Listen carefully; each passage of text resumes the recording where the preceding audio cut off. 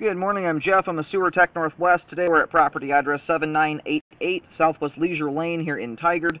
We're located at the front of the home. We're just off to the right of the front doorway, right in front of this uh, second, I guess, second foundation vent. Uh, from the doorway, we have a 3-inch ABS cleanout as our point of access. I'm going to insert the camera and check the overall condition and serviceability of the sanitary sewer line. Currently have water running. Here we go.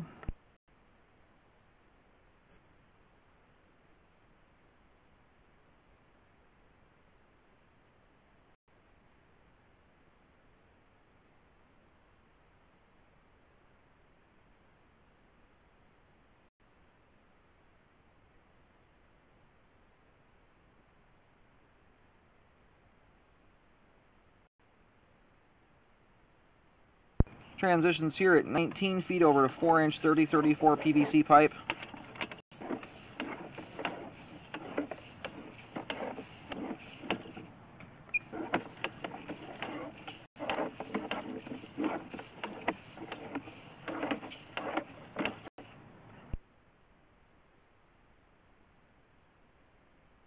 We are kind of shoveling through a little bit of grease here we'll, when we let the line drain out at the end, we'll see how much we've got.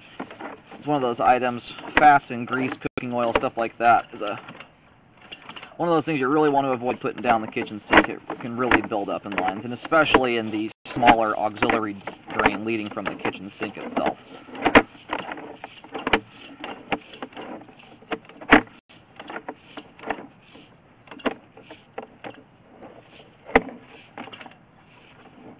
Alright, and here about 53 feet out, we have reached the main lateral. I'm going to do locates to verify where the line terminates, and then we'll let it drain out completely. I think we might have a couple really tiny minor bellies in the line, uh, which are stuff I'm probably not going to recommend you repair on, but if you do put grease and things like that down the line, they'll collect quite easily in, in, in I mean, just about no standing water at all. It doesn't take much. Alright, located the camera head successfully out on Leiser Lane.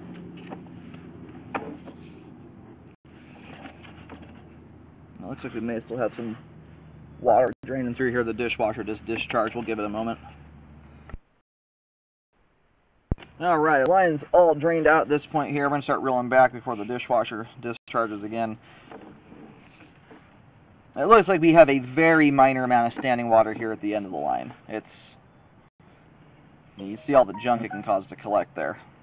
Anyway, that, that's only, that's a quarter inch or less of debris. It's extremely minimal now we have all this junk falling into the line here that will kind of dam things up. But anyway, the, the amount of standing water there is something I'm not concerned about, but I do recommend a hydrojet be performed to remove all the grease debris buildup that's in the line.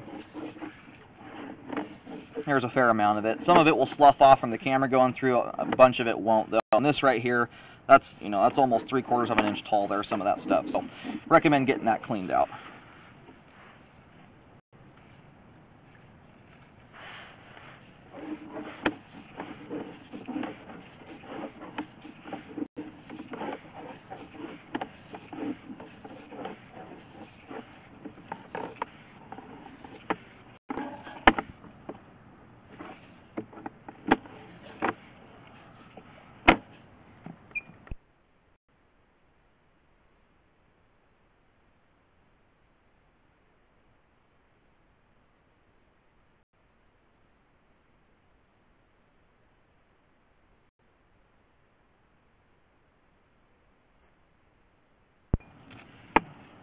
Alright, we are back to the cleanout here. I'm going to reverse direction real quick, mostly to make sure we don't have any concerning amounts of grease buildup in the crawl space.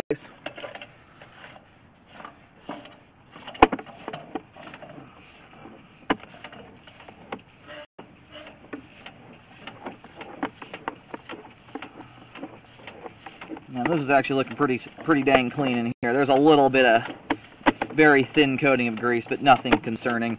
And so all, all that debris buildup out there really originates from that tiny amount of standing water. The, the grease and fats hit it, it floats to the top, and it also hardens, and then it just sticks to the sidewalls. It just kind of keeps building up over time. So anyway, as long as you don't have grease and stuff going down the line, um, that, that amount of standing water out there, I would never recommend repairing it. It's, it's just about nothing, but it will cause grease to collect. Apart from that, really, it's not going to hang anything else up. Anything else that gets clogged there is something that'll get clogged in just about any part of the line. So we do have good flow all the way to the main lateral. The ABS and PVC portions of the line are in good condition. The sewer line is functioning properly at this time, pending a hydrojet. It is still functioning, but it'll function proper once there's no grease in there.